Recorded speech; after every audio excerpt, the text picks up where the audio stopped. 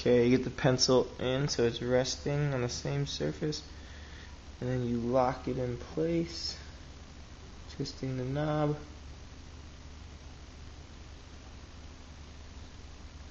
Okay, and then carefully place the prepared pencil tester, wheels first, onto the surface to be tested.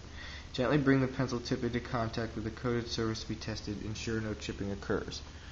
So you want to take your pencil tester. Say we want to test paint on this. Wheels first. Gently set the front down. Immediately after the tip of the pencil rests on the coated surface, place thumb and forefinger on the pencil tester, center portion of each wheel.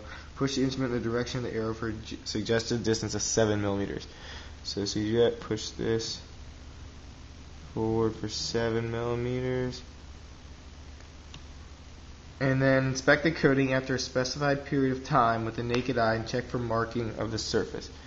And you take off pencil tester and you check for marking of the surface here it did so I'm going to say that would chip through some paint and if no marking has occurred repeat the test on a new portion of undisturbed coating moving up the hardness grade scale until marking occurs over the test distance.